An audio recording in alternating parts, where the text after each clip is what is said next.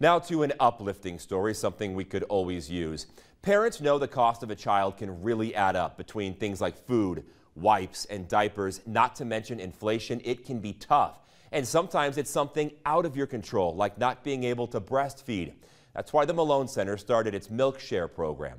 1011's Madison Pitch takes us behind the scenes to show us how it works.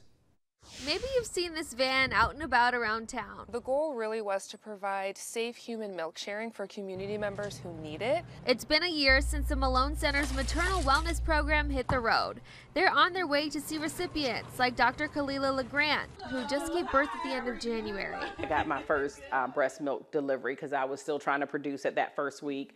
Um, I was still doing formula and just trying to pump um, and wasn't being successful. And so then I went ahead and, and said, yes, I'd like to um, or start up with the program. So I've been getting deliveries every week since he was um, about a week old.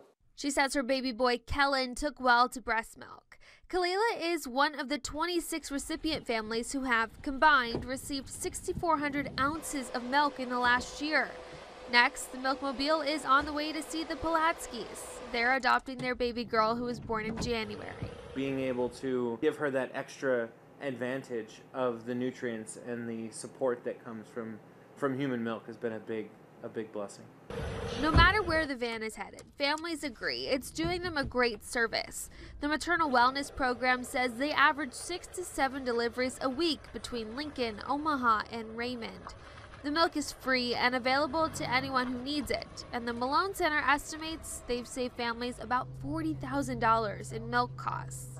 On average, it's $6.25 per ounce, which for most families is not uh, economically feasible, especially when your babies are eating anywhere between 30 and 40 ounces a day.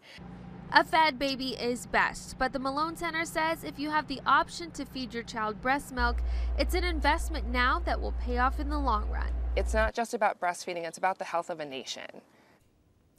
In total, there are 15 donors who have given and four donors who give repeatedly. Together, they've donated more than 6,700 ounces of breast milk. But the Malone Center says as soon as that milk comes in, it's going out. So the long and short of it is they need more donors. Donors are screened, they go through blood work, and then they're good to give. We've got more about how you can get involved. Just click on this story on our website, 1011now.com.